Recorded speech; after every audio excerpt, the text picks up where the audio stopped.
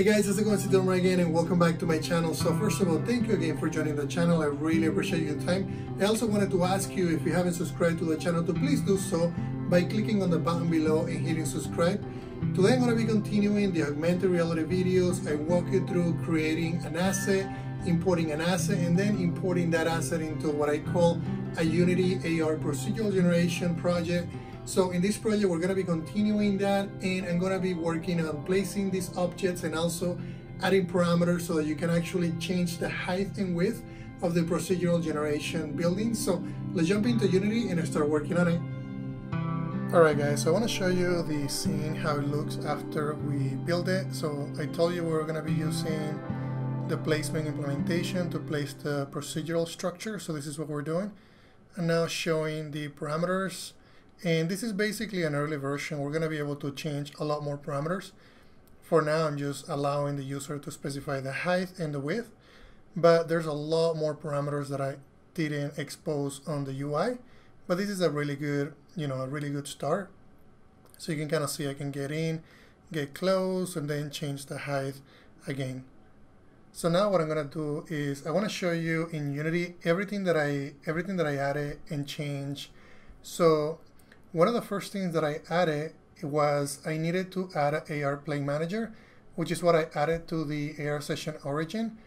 And also, I just want to remind you that I'm going to be putting this in GitHub. So when I'm done with this video, I'm going to be checking it in and the URL should be in either Patreon or in the description of this video. So like I was saying on the AR Session Origin, I added a AR Plane Manager and then I also added an AR raycast manager because we need to raycast against the plane. That's how we detect if we are, if we basically got a plane, a vertical plane or a horizontal plane detected in augmented reality. And then I also added a place on object on plane, which is basically what sets the location of the grid. And this grid with parameters, if you haven't watched the video about procedural generation, I recommend that you do and I go through various videos from, you know, from creating a mesh all the way through creating a grid that is randomized. So this is basically that implementation. And what I did in this video is basically incorporate it and also add the augmented reality component so that we can place it in AR. So those are the three components that I added. There are no other changes on the other components that I have from the previous videos, except on the canvas, I also have a params binding and that is the component that you'll see that, you know, like I show you on the beginning of this video, is that you have a params area. And that area is the components that I'm going to allow the user to input. So if I want somebody to change the width of the height of, of the grid, or if I want to add more parameters, this is where I would be putting them. So for now, I'm just I just have the two parameters. I'm going to be adding a lot more. And my goal is to basically expose everything that I have in the procedural parameters as options for, you know, for the person who is running the experience to change. Because I think it's going to be really fun to be able to see these and also, you know, change the scale. Maybe you go to a football field and you want to generate, you know, huge procedural buildings and, you know, it will be fun to, to experiment with that and see how that of affect the experience. So the canvas basically has the stats, which is what you see on the very top. I wanted to keep that because I wanted to know how fast this is running on my device. I also have a browse button, which is basically the toggle. So whenever I press it, so if I'm not showing anything, that means that I'm, I'm, I'm able to turn it on. And then if I turn it off, then this is gonna change to on. So basically a toggle. The toggle controls, controls the params area. And then the param, params binding is basically what I'm using to you know, to change the value and get the value from the slider, get the value from either from the width and the height, and also be able to track, you know, when somebody actually press this, what happened with this panel. So that's what I'm using the params binding for. I'll show you the code as well so that you know, you know what I'm doing. So as far as like the, if we go back to the AR session origin, the other thing that I added is I also needed to identify the basically the floor and, and create planes on the floor. So if you look at this check as this checker plane, and once you download the code, you'll see all the different components that I have on that checker plane. And to be honest, this is basically a lot of it came from the AR the AR components that Unity offer. So they go through and create a they created a project. They have multiple examples. So this is one of the examples that they had. I basically just look at the structure and I noticed that they had an AR plane, they had a, a visualizer. So a lot of these things are already set. So I wouldn't really worry too much about you know knowing exactly what each of these is doing. Just getting a high level overview and know that this is basically to create the planes that you know are gonna allow you to place structures augmented reality. So that's what I did. I added that, and then if we go back to the if we go back to our hierarchy, and you look at the AR session, you can see that I have that as a plane prefab, and that's what the AR plane manager takes. That's one of the input values. So you know that you need to you need to create a prefab and then basically have those other components that I just show you. So just download the code and take a look at that in more detail. Then the other one that I that I created from scratch was this place object on plane. So let's go ahead and look at that and see how that works. So I'm just going to click on Open C Sharp Project, and I'm going to look at a couple of things because I had to make a few changes on on some of the other scripts to be able to make this work. So the one of the requirements is that we need to get the Ray, Raycast Manager. This is not a regular raycast. This is an augmented reality uh, raycast. So the component that is going to be required is the AR raycast manager, which com comes from the Unity Unity engine, the XR namespaces. So make sure that you you know you require these because I'm using raycast in this class. So if you don't have it and you happen to try to handle a raycast, it's not going to work the way that you think it's going to work. So just make sure that you require that as a component. The other thing that I that I also require in here is the params bindings.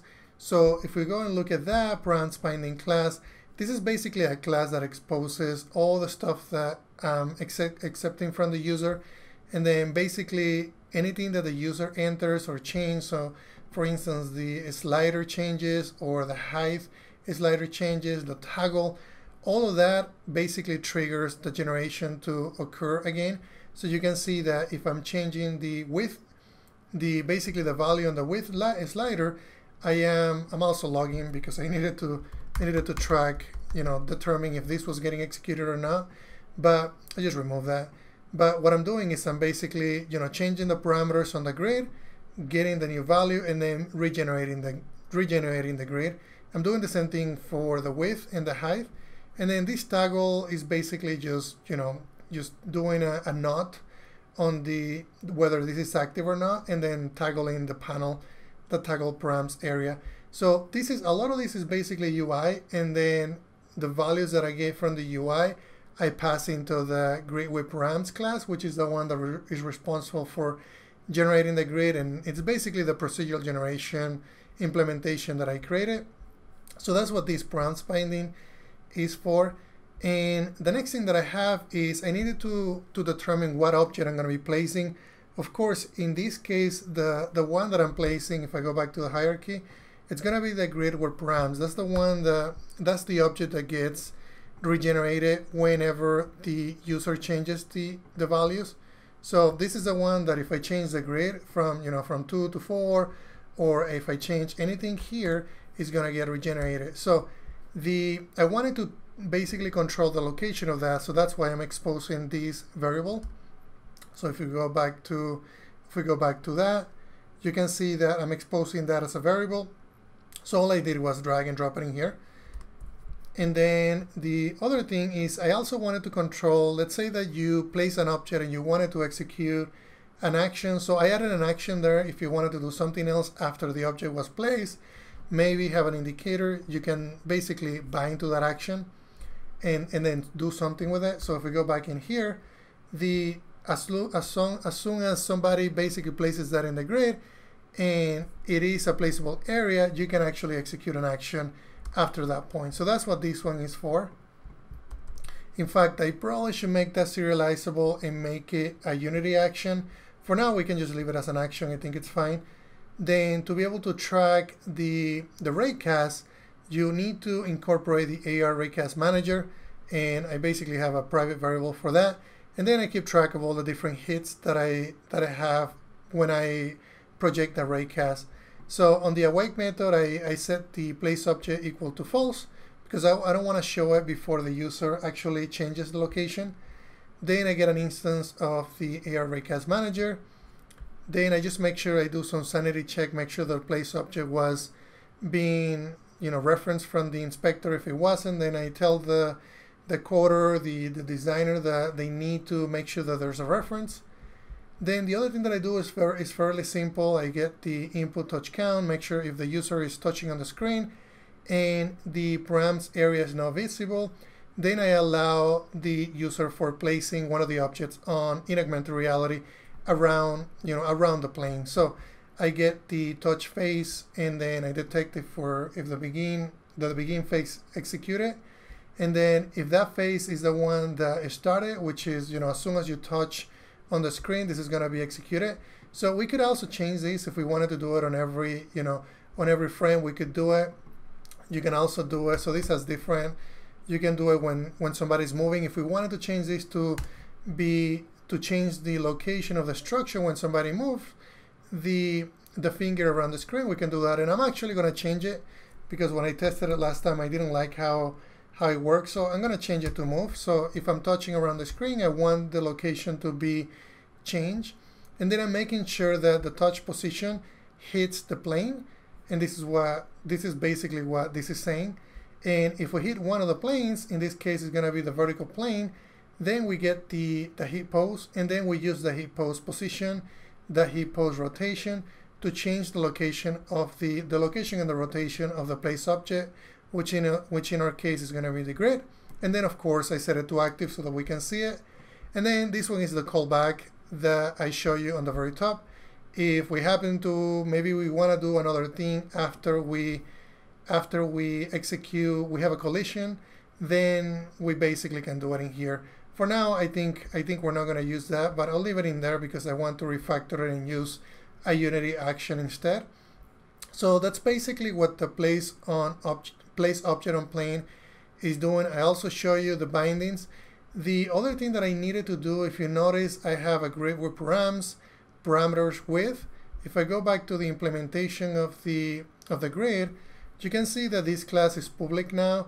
I, I wanted to convert this to a to basically a property and to be honest I, I just made this public and it's okay for the example that we're running if you of course if you wanted to scale this you may want to look at the accessor and, and make sure that only the classes that need access to, to the parameters can access it. So in this case, I made it public, so that's why I can do in here if I go to the, let me see, if I go to my params bindings, that's where I can actually access the width on the, param on the parameters and then regenerate the, regenerate the grid. So this build grid is, the, is a public method that I expose is the same one that is getting is getting executed if you change one of the values in the inspector for the grid. So that's basically, you know, a summary of the things that I added and changed. If you guys have any questions, you know, be sure to let me know and just keep in mind that this is going to be all checked in, into source control as, as soon as I'm done. And again, if you, you know, if you have any questions and also if you could support me in Patreon, that would be great because that's going to allow me to you know, to keep offering you guys with free code and, and keep doing what I'm doing, also growing the community. So thank you guys, I really appreciate it. Alright guys, thank you very much for watching this video. I really appreciate your time and if you have any questions, please let me know. Also be sure to check out GameDev.net because they have amazing resources for game developers. Either you're starting out or you're an advanced game developer, they have resources for you. And also find me in patreon.com where I'm basically posting information about what I'm doing behind the scenes and also early access to source code. Thank you very much guys.